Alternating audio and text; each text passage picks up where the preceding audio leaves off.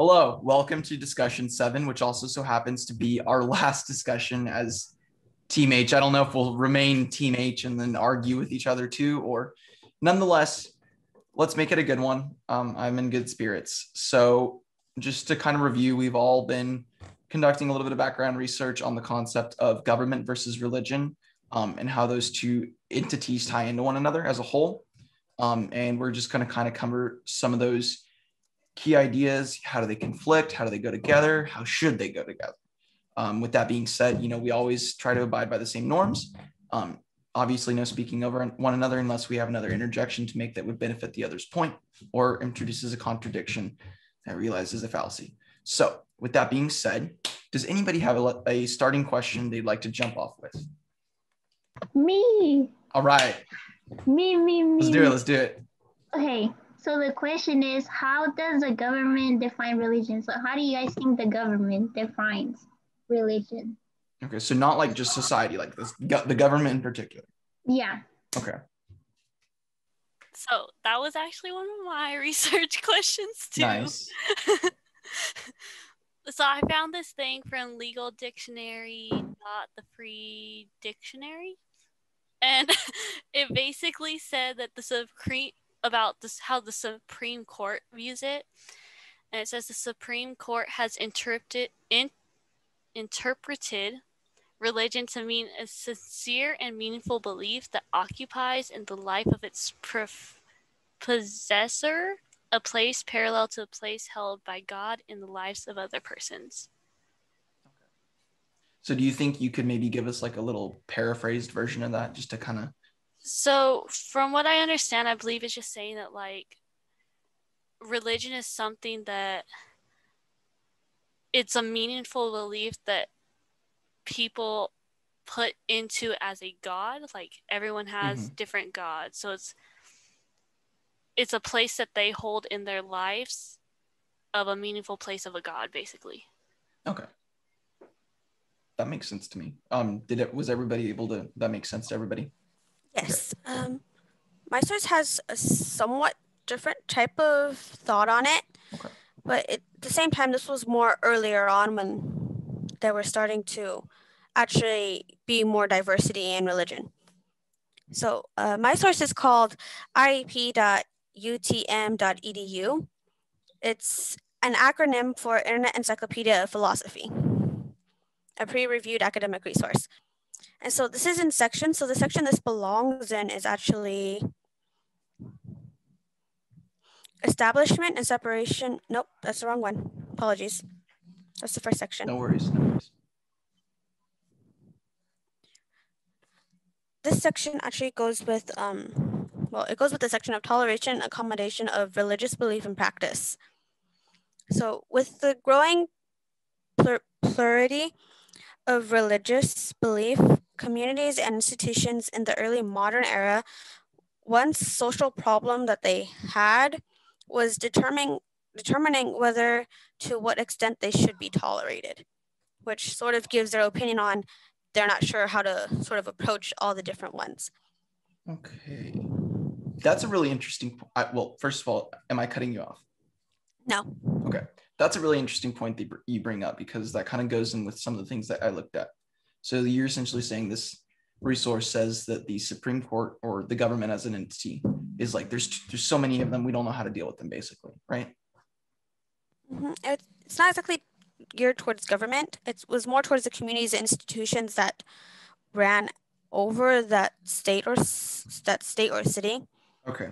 So not super government related, which it may stray a little bit from the question, but this was also what was sort of inside of that philosophy of what they believed and what they thought of religion. No, yeah. And still a, position of authority. Okay. Um, which is really good point because it ties into I remember Miss Hamby and Miss Gallardi providing us with um that one link to the website that boiled down Thomas Jefferson's I can't remember if it was a letter or pamphlet, but essentially he's like talking about the fact that you know we should be able to follow whichever religion we identify with and you know where we place our beliefs um, so i feel that kind of ties into your definition um, you know these positions of power they're like we don't know how to view all these different religions. Well, Thomas Jefferson came out with this solution. They're like, just don't infringe on people's rights. Just let them um, kind of follow along with what they feel is correct. Uh, which yeah, and another person. Sorry, I cut you no, off. you're, you're you're you're another good. person, Locke. He sort of did something similar, and for what they're uh, with Miss Gallardi and Miss Hamby, it, I believe it was a letter, a letter that Okay. Jefferson sent. Thank you for that. You're welcome.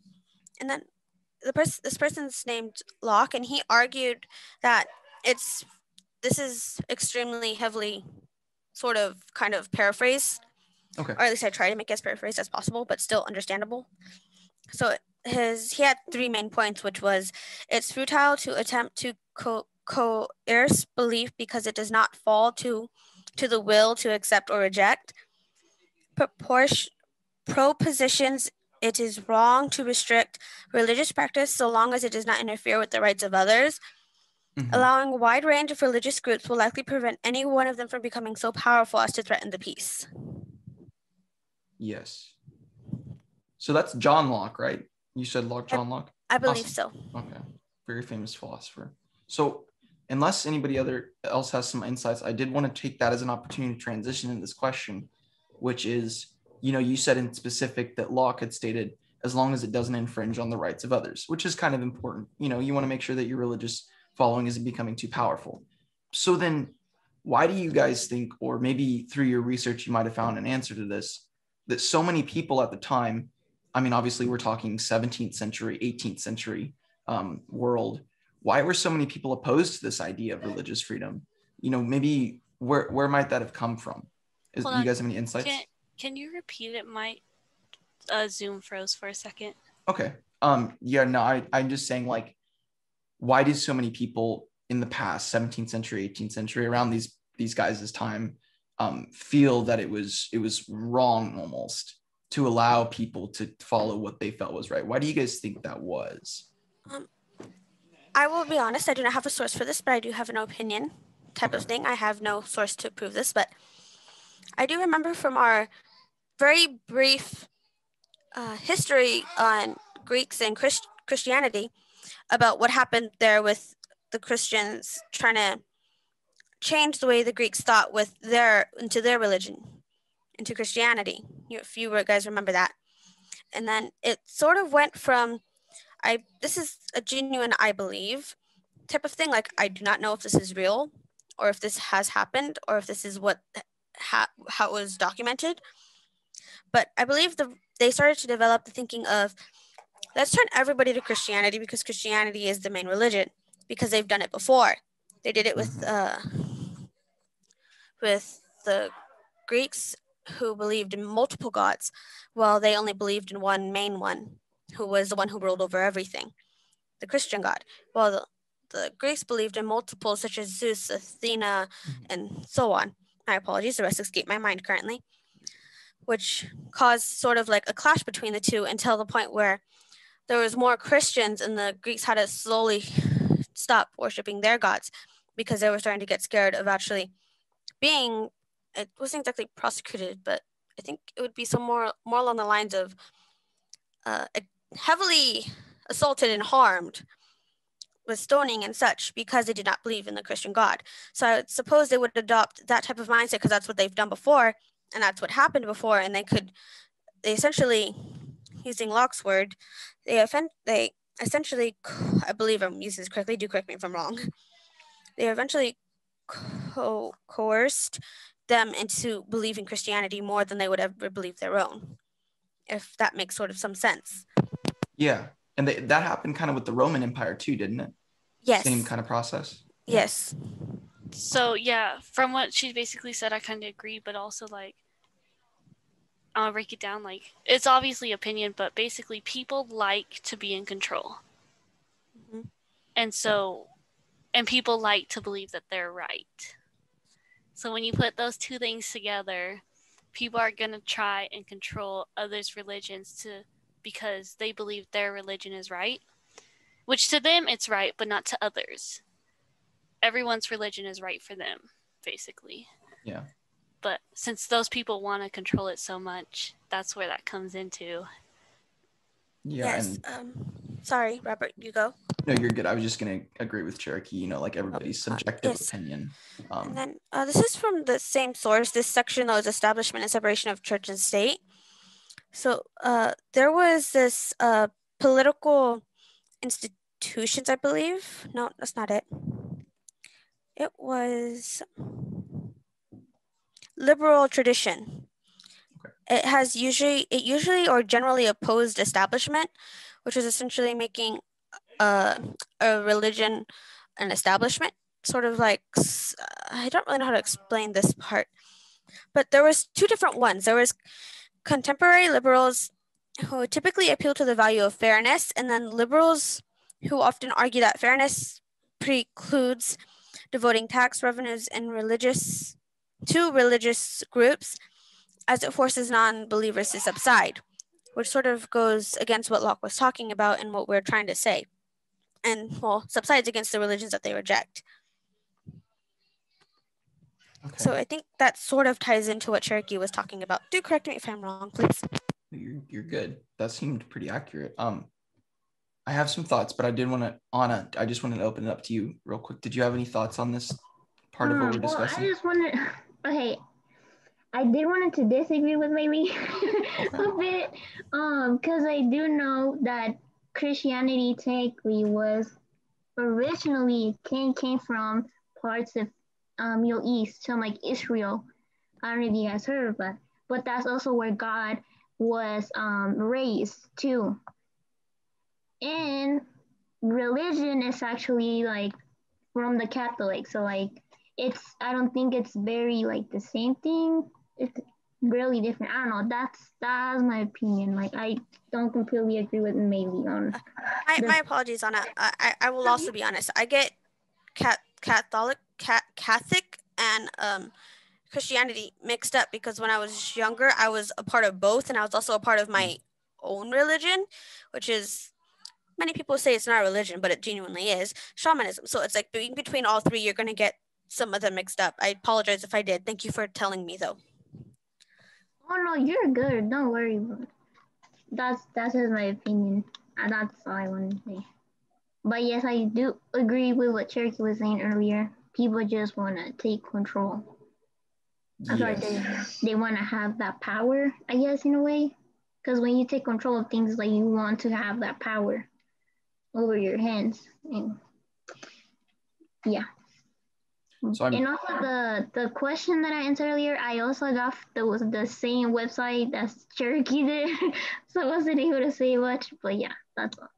No, you're good. Thank you for making that connection too, though. I mean, it's it's good to highlight, you know, when we are sharing resources, we're on a little bit of a common ground there. However, I am seeing a pattern with a lot of these um, these factoids and these excerpts is that you have somebody that believes they're right, and they're trying to enforce that on everybody else, on the subjects, on the citizens, society.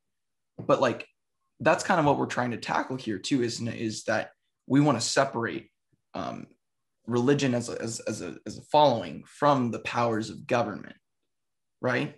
And that's what we're seeing so far, especially with uh, mainly with your example of the uh, the coercion of the following Christianity on the Greek individuals in past. Hey, what's up, real quick? I'm I'm doing something for school real quick. Can I come in there in a little while? Okay. Um, sorry about that, but harkening back to what you were saying, Mayly, about how the coercion of the Greek citizens to follow Christianity, that was probably part of the government. You know what I mean? This foreign government comes in and they're like, you got to follow this religion. This is the, the religion of our nation. You know what I mean? Which kind of seems wrong almost. And it definitely led to the formation of the establishment clause. Uh, let me make sure I'm quoting this correctly. So I'm re- I'm referencing mtsu.edu, um, the First Amendment Encyclopedia, and essentially this establishment clause is it's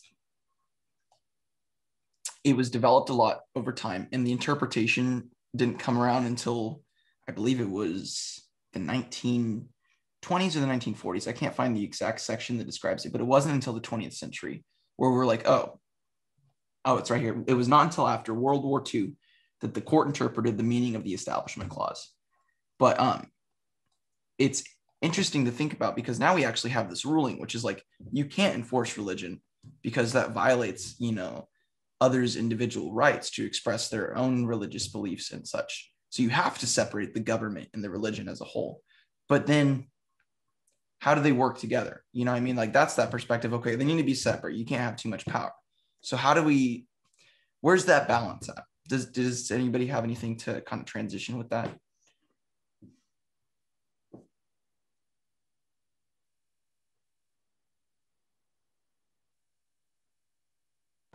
Okay, I don't know if, if what I'm gonna say has to do with what you just said earlier, Robert. I'm sorry if it doesn't have something. It has nothing to do with what you just No, said and earlier. if it doesn't, you're fine too. Like I want to hear what, what you have to But say. I think personally, um, the government does not really um, give us, I guess, does not give any freedom when it comes to religion.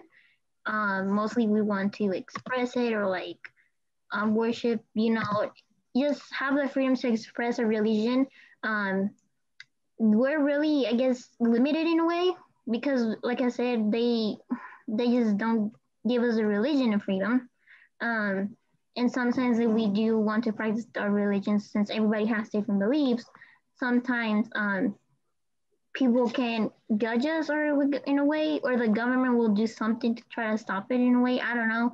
Um, and in a way it's more it's it's like a dictatorship government in a way even though we don't see it. But it's i, I think it's very it's going to be very hard to find a solution on that because like I said, we're where there's no freedom to really when it comes to express um, and kind of show our, our own beliefs and different beliefs to society or to people because we're you know we're just kind of control or we're limited to do it. So it, it kind of seems more like a dictatorship dictatorship government. Yeah, I don't. That's that's just my opinion. I don't know if anybody agrees on that. I I want to say that I agree and disagree on both sides a little bit. So I, I see where you're coming from. And I definitely agree that like if you if you're enforcing like one religion, like what else is going to be enforced and what other freedoms are you getting rid of? And that I like that word dictatorship, you know, that kind of leads to that that dictatorship, that tyrannical government, you know what I mean? That's just oppressive to its citizens. But I do disagree, especially with like our modern form of government. Yes, I feel there's religious prejudice in our nation, um, and certain religions are favored over others. But I would like to believe that because of the way that our laws are written, we have the ability to express which religion we want to follow. Would you agree with me there? To express their Mm, yes. beliefs. Okay. But yeah, that's I think that's all that yeah, that I Yeah, have and I to say should, I about should probably be more specific. No, you're Um, you're good. but I'm gonna think of any. but I don't know. I mean, I'm glad um to hear your opinion, Robert. And And I'm happy to hear yours as well. I'm wondering what Mayly and Cherokee think. Yeah, what do you guys think? So I kind of actually like, well, like I know the First Amendment, it actually says that Congress shall make no law respecting an establishment of religion or prohibiting the free exercise thereof. So we do kind of have like that as a law, like it's in our First Amendments that we follow. But other than that, like, I don't really know what else. Yeah. Love the reference of the original text though. Good way to, to summarize it. Uh Mayly, what are your thoughts on that? I, I agree with I agree with Cherokee there because with the First Amendment having the sadly I do not have as good as a memory as Cherokee, but with the law of not being able to make a law about religion, sorry, that's No, we, we get you. like or trying to stop the freedom of to express the religion we have that gap there so therefore if someone were to try to oppress this is again opinion please opinion Okay. try to oppress said religion we could easily state that part of the amendment of where they cannot exactly oppress us because we have the freedom to express our religion they cannot force another religion on us unless they would be okay with us forcing our religion back on them in that case, then please go ahead. But be warned, we will also try and force ours on you because that is what you are doing to us. Sort of Mhm. like an equal exchange thing. That's kind of almost exactly what Jefferson had stated too, is that he said that this this thing, this establishment clause, this early form of it, that separation is it's something you can remove from law, but if you do, it's a risky situation. So I like that you brought that up because then it's like, you know, people are going to try to force things on us. Yes, and then for opinion, once again, for those like if the if the law wasn't there, and um, people were trying to expand their religion to people who are unwilling, those who are unwilling, if they really do enjoy their religion and so on, they can easily force back and say something similar to, if you're trying to force said religion onto me, then I will force my said religion onto you, because it'd be sort of like an equal exchange. You're trying to take something from me. Okay, then I'll try and take something from you as well. Because there's no line, there's no border to help or to stop to make someone understand that you do you, I do me. We can get along, but do not force me to do something I will not enjoy. Yes. Especially when it's more towards that person's center of self, because that's genuinely what a religion is. It's like a center of self when you think about it, because some people they follow the morals and um, morals and lessons of a religion, while others they take what the, that lesson that their religion gives and their culture gives to. Ooh, my phone just fell. Ooh. Never mind, that was my switch. Apologies, you may have to edit that part out.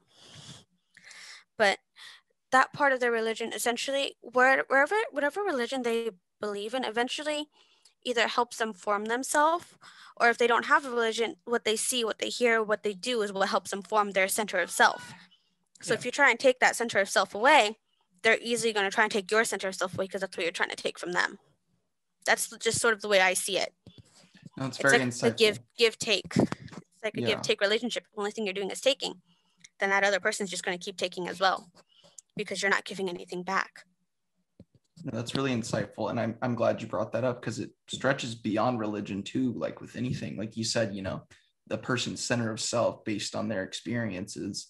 Everybody's different. Everybody's going to have different perspectives on the world. So we have to have those protections in place. So I'm really glad you brought that up, Mayly. Um, yes you're welcome so Cherokee, I, I remember us talking in class a little bit and you had referenced uh, one of the sources you were poking around just a little bit, which made kind of an interesting claim. And I think you might know where I'm going with this about the the married couple kind of analogy. And I just Yeah. kind of wanted to know, like, what what did you interpret from that? So I didn't actually take that source into my notes, but it was kind of basically saying that like religion and government are kind of like a married couple, except like they don't work together. Like they don't like to be around each other all the time, but they still kind of stay together. I, I'm gonna try and find it and then I'll come back to it. Let me see if I can find it real quick. Yeah, no worries, no worries. my source kind of sort of states something with um about religion and uh political s- like being in religion and political things Okay. sort of mixing together so this is what they said from the perspective of many religious people themselves there are worries that a political role for their religion may well corrupt their faith community and its mission instead of focusing more towards what they're trying to do it may focus more on the political part of it if they were to sort of conjoin without certain lines if if that's understandable So it kind of creates that chaos if they just meld together. Is that kind of what you're saying? Yeah that's sort of what the, the source was saying. With That's yeah. because if they do one thing they have to adjust a whole bunch of other things for it to fit correctly. It's like if you make a glass slipper you have to make sure it's the same size as the person's foot. A, a weird analogy but it's what came to me. That that makes sense. Um, and then obviously I still want to give Cherokee the opportunity to present that, but just building off of what you had said right there, um, it just it's interesting because there was a lot of comparisons made in the original documentation that a lot of these philosophers had wrote about, um, and early political leaders that they're like, we want to separate these two, partly because the government might corrupt the religion versus you know religion taking control of the government which I thought was kind of interesting. And I, I felt like that might have tied in a little bit what you what you had said there. If you meld them together, Yes. it's, it's chaotic. and then another part of part of it is going off of what you said. Um, it's, it's from, my apologies. I'm going to be in awkward silence for like a couple more seconds. No worries.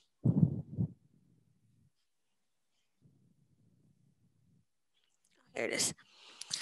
Uh, this is what somebody thought. in the source, I did not put their name in, sadly, but what they thought was that um, democratic societies rejecting the influence of an established church at their peril as they cut themselves off from the kind of ethical wisdom that can come only from a participation in tradition. And he argued as a result, society would degrade into tyranny and or social and cultural fragmentation. So those That's- are the that's the aftermath basically. If you Mhm. allow these two entities to come together. Okay. That's what he thought would happen if you don't allow them to to uh, learn off of each other, Hmm. Okay. ty- type of thing. Okay. Yeah. Okay, and then I found the article. Awesome. So it's Church of Jesus Christ.org. um, so it says religion and government are like a couple who sometimes have a hard time living together, but who find they simply cannot live apart. And then it says religion and government both need their independence in order to flourish, but history has shown that a complete divorce is healthy for neither. They traveled travel different but parallel tracks. So like even though they're different, they're kind of on the same track. They are most successful and most effective when they protect and encourage one another. So I think that's a really important part to point out. Yes, that that is important. Yes. And then it goes to mention that like government plays an essential role in protecting and maintain and maintain, maintaining religious freedoms. Mm. Let me see if there's anything else important. But yeah, I think it's really cool that it like compared them to a couple because even though they're two separate things, they both can like rely on one of one each other basically. It's a really really good analogy there. Yeah. yeah. Just it, yeah, it definitely grounds it a little bit, makes it easier to kind of think about. Um, which just throughout the course of the discussion, I've been kind of pondering over this is I can see how religion needs government because you need to protect religious freedoms, and that's how that's where the government comes into play as policymakers. However, I don't, and this could just be my own subjective opinion as an individual who is agnostic and who cannot pertain to any particular religion, but just up to your own interpretation, you guys. What do you what do you think some of the benefits that religion has on government might be? Like as a concept, like how do you think that having you know these two connected, like where do you think religion comes into play and benefits government? Just open interpretation.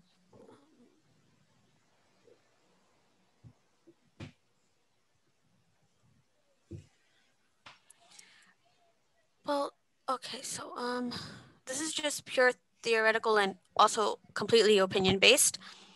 So uh, let's say someone in the government has been in some religion, any religion, and so they base some beliefs they have off of said religion, and the beliefs in said belief, said religion is mainly around, let's say, let's say it's around the fact of something around like being truthful when you can and staying positive and abiding laws and making sure that everyone is in a safe place type of thing. That would obviously affect how they would think and how they would run their work. And if not a person inside the government and outside of the government it would you could say it would give the government an opinion to go off of for what their people needs what all their different kinds of people needs from the minorities to the mi- to the majorities. Of from what does this person have from this religion what do they need? What do what what rights do they need to have? What rights do we already have in place that can help them? And then from the majorities to what do we already have covered for all of them type of thing so that they know what they're doing? It's just sort of how i think of it. It's a really Okay, good way to think of it. Yeah, and then this article, the same one, churchofjesuschrist.org, also talks about it. It kind of just says that um, religion is still an essential role in government. The only real solutions to many of the serious problems facing our world today are spiritual and not political or economic. for example, racism, violence, and hate crimes are spiritual problems, and their only real solution is spiritual. I can Which I kind of disagree because the government can fix some of those too, but it Yes. also is a um a moral thing that needs to be fixed, which is a moral slash spiritual thing, mm-hmm. basically. I'm in the same boat with you. Yeah. I, I agree with that.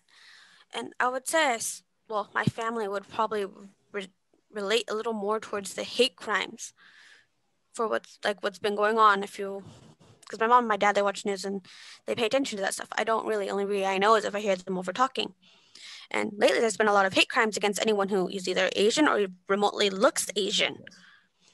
So it's sort of like, it gets scary and it gets extremely wondering at times. Like, okay, let's go to the store. We can't go to the store too late. And then it's a, if there is there enough people at the store at this time for us to be safe, type of thing. And now when my mom and dad go to the store, there has to be two people. Mom, mom and dad always have to go together now, just to be safe. Because there's two, no longer one. So I sort of understand that. And at the same time, while I think it's spiritual, it could also be towards something the government can actually sort of work to fix as well. Yeah. So, because hate crimes don't just come from the spiritual aspect, it comes from what's being done and why is it happening, as well with all the other things such as racism. It can be also be figured out with the why is this happening, who caused it, not exactly a who, but more of a what. Sorry, more of a what caused this, and how how can we fix it. Although if we're always focused on those, eventually everything else will fail. So I would say we'd have to give it time, a whole lot of time.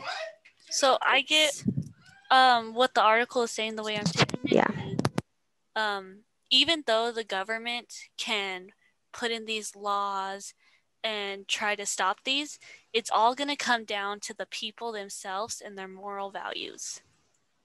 The people that are attacking these Asians, it's coming down to them as why are they attacking them? Well, their moral values aren't in the right spot. Um, I okay, I agree with what Cherokee said, um, right now, but I do disagree because I don't think what the first part that you said, Cherokee, I don't think is really the.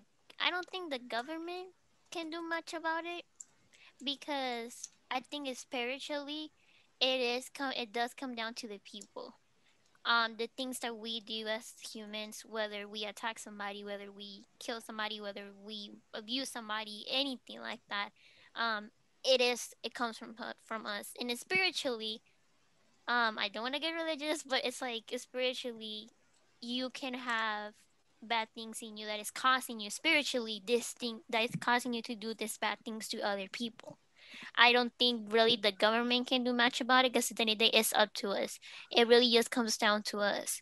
Um, like I said, I don't think the government tells people, you know, encourages them like go ahead and like hit somebody, go ahead and like buy, go ahead and attack the Asian people, go ahead and attack the Mexican people, go ahead and attack the African American people. Go ahead. I don't think the government tells us that, but I think it's just rather spiritually us that we have the bad in us. Um, we may have the good in us, but there is some people we just have are just spiritually have really bad heart just you know just bad things inside of them so i don't think it's the government i just think it's spiritually it comes down to us that's where we have to take and take that in fact that is is it's not the government telling us do it. It's just us. This thing it comes down to us. Mm-hmm. That's just my opinion. I yeah, I, so, I sort of agree with that. It's more of a spiritual thing, and then even if the government can try, there's no guarantee that they will listen, because it's more of on the what what they want to do, what they believe, and if they are mentally running it through their head of what they're going to do, how will it affect the person they're doing it to? And you know, like, plus I feel like um even if the government tries to tell us a person, you know, like don't attack certain people, there's probably just a spiritually spiritually a lot of bad inside of them, and like a lot of things that probably we're not like they're mentally not well or who knows, but like I said, like Mayly was saying, the government cannot stop that even if you tell the person to stop doing it. Because Yeah. there's so much bad in this world. And it's like racism, which is a good point. Even if you tell people to stop being racist, spiritually, there's something inside of them that is making them do these things. which is where religion starts to play in with like because people believe their religion and if Mm. the religion is telling them to be kind to all humans they're going to start that's what they're going to believe and that's what their moral values is going to be so that's why the government still needs religions Yeah. And I think in a way, I don't think the gov it, the religion really benefits the government in a way. I think it rather religion benefits some society in a way, if that makes sense. Because a lot of people that are in religion, Christian, Catholics, they're Christians. Um, some of them do say like, "Oh, I see a change in my life. Oh, I see something changing in me. Like I see something good out of good results of positivity." I don't think really relig- religion benefits in a way in the government. I think it's rather just religion helping society and benefiting benefit bene- benefit society. Yeah, like that. Yeah, th- that's I agree with you, but at the same time, I disagree a tiny bit with certain parts of it because with religion helping society, that is also could be counted as religion helping the government because with it helping society, it helps the society understand a little more of what they're what they need and what they want from the government with their eye-opening things from or their feelings they get from whatever religion they're in. That's just sort of the way I see it. I think those are a lot of really good, robust perspectives to have on this. Um, and something I'm seeing kind of commonplace here is that you know people's values in in re- relation to their religion can influence how they behave in society. Um, and I I just I personally feel that like Mayly, you had said, individuals in the past they're going to have a, a religious affiliation, even if they're a member of government. A lot of people are, um, and that's going to come into huge effect. Like you said, you know, you need a religion to to build off of and find these values and these morals to, you know, what is just for our society. And I guess the question becomes, well, where do you get those values from in the first place? Because lots of different religions are going to have lots of different values.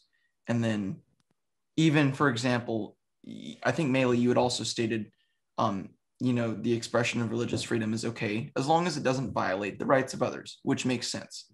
But then, you know, what if you have a government that doesn't define the rights of others, you know, similarly to how we do in the United States?